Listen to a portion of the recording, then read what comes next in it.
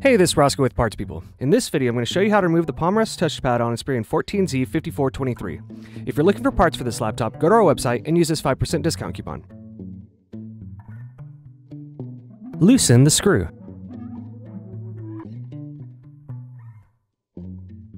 Remove the access door. Separate the clips and remove the memory.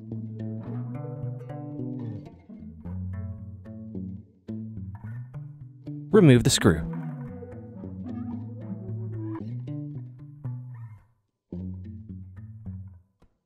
Remove the screw covers.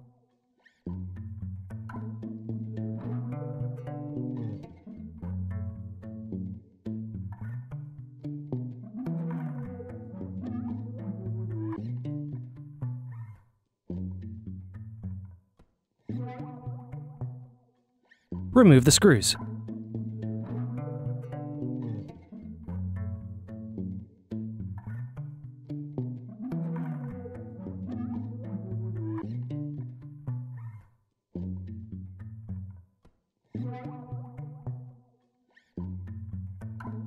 Turn the laptop over and open it up.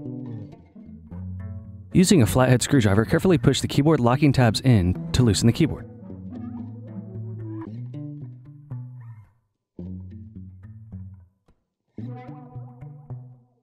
Unplug the keyboard cable.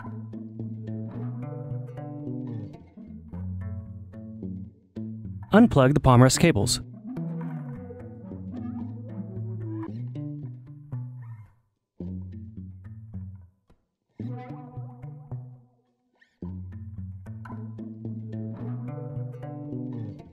Remove the palm rest screws.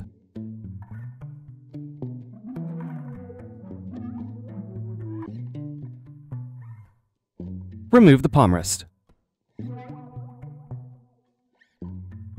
Are you looking for some more tutorials? Check out these other videos.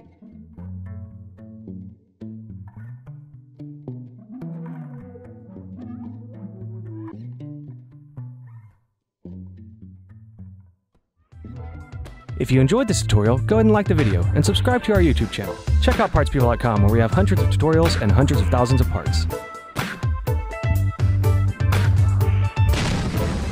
Thank you for using Parts People for your video tutorials.